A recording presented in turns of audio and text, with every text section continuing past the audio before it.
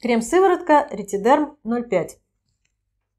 Препарат, который содержит 0,5 концентрация активного ретинола, который находится в нем в липосомальной форме, основная его часть, и частично в свободной форме.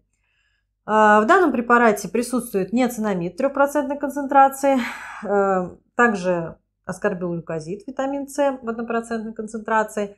По аналогии, как э, эти компоненты активные содержатся в нашей же сыворотке ретидерм 0,25.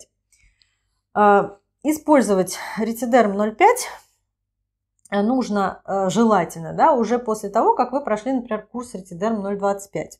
Либо вы использовали какой-то еще препарат на основе ретинола активного и хотите повысить его концентрацию.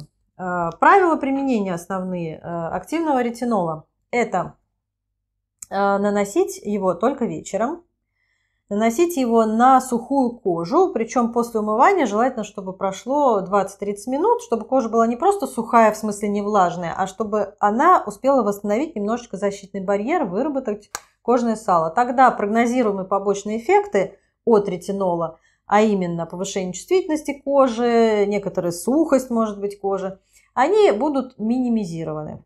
А, кроме того, если вы хотите нанести, например, какой-то смягчающий крем после использования этой сыворотки, это может потребоваться, если кожа очень сухая, а, тогда мы наносим его уже через час после ее нанесения.